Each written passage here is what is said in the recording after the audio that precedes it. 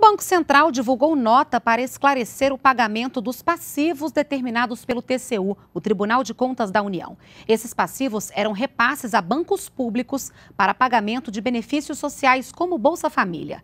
De acordo com a nota, não foram utilizados recursos dos resultados positivos do Banco Central, que é uma espécie de reserva estratégica do Caixa Público para esses pagamentos. O Banco Central também afirmou que obedece estritamente aos mandamentos constitucionais, legais e regulamentares em procedimentos contábeis, na apuração de resultados e também nas transferências para o Tesouro Nacional. Também em nota, o Ministério da Fazenda divulgou uma tabela com as fontes utilizadas para o pagamento dos passivos. Os detalhes estão em www.fazenda.gov.br.